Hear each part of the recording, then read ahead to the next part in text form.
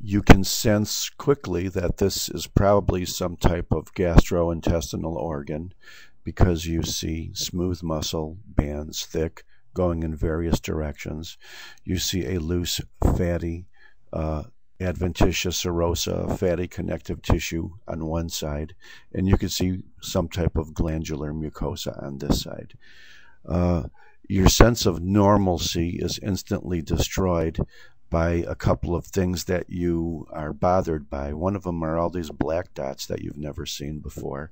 And the other thing is this little uh, epithelial proliferation here, which is probably bothering you. So if you looked at it, you could see in this one area there's a, a cancer. It's an adenocarcinoma.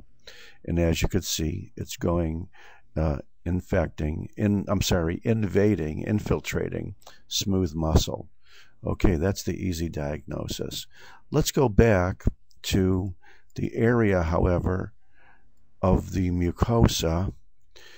Uh, is this a squamous mucosa or is this a glandular mucosa? It looks squamous, sort of. It looks inflamed, but at least it doesn't look like cancer. However, there's something here that bothers you. What are all these black dots within the mucosa, within the submucosa, and perhaps even approaching the wall? Uh, we've never seen this before. Well, this is schistosomiasis. So this guy has really, really uh, bad problems in that he has a colon cancer, number one. Number two, in this part of the uh, rectum or bowel, I say uh, rectum because I see a lot of squamous looking mucosa there, could be lower rectum. We see these little black uh, eggs within submucosa and mucosa associated with some inflammation, but mostly just surrounded by fibrous tissue.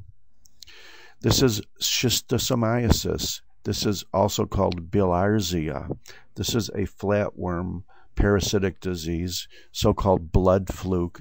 And I'm going to show you a, a map of where these uh, critters are usually found.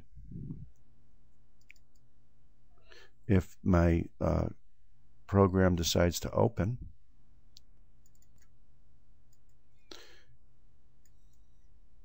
And I'm not too sure if you saw that or not, so let's look at it again.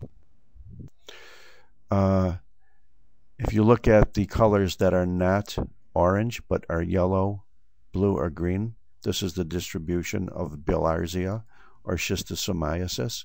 If you would like to see what an adult would look like after one of these eggs grows up, it would look like this. And if you would like to see what the eggs should look like in the laboratory, rather than in a patient's tissue, they could very easily look like this. And this is a classical uh, picture right here in which you can see a little barb along the side. When you see something like this, this is absolutely a schistosome egg. There's nothing else in the world that looks like it. Thank you very much.